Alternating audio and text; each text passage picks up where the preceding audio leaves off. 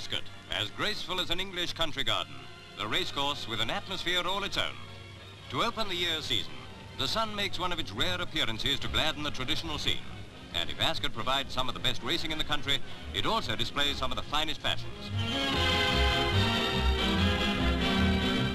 Accent, as always, is on hats. These are made of human hair, incredible but true.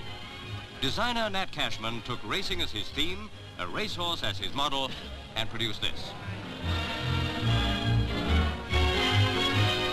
And now to make it a royal Ascot, Her Majesty the Queen and the Queen Mother are present.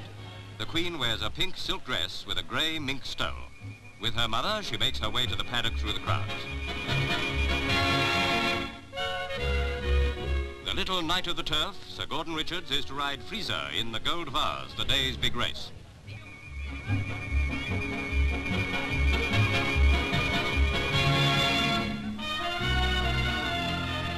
Time now for the Gold Vase.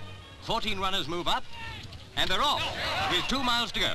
Lord Derby's Herculaneum is just in front of Prince Christian and Royal Task as they race towards the first bend. Out into the country and safe approval is making the running. Royal Task, General Ike, Friseur and Corrali are all there. Down towards the stands and into the last bend, the order's much the same.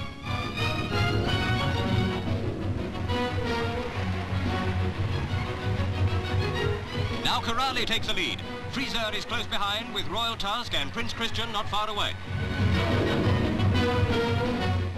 Coming up on the outside is Prescription, number 17. Eph Smith is bringing him up to challenge Sir Gordon on Friseur. And he's passing him. Now he's after Corrali, who's still in front.